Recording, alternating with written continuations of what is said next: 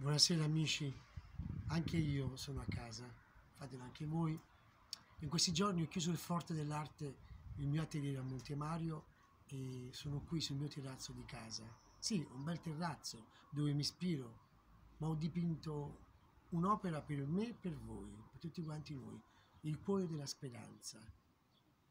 Andrà tutto bene, restiamo a casa, aspettiamo che passa questo, questo incubo anche per me, ma anche per voi. Ma sono sicuro che saremo più forti di prima perché ognuno di noi prenderà a questo momento critico di ansia, di paura, la forza per risorgere, la forza della rinascita.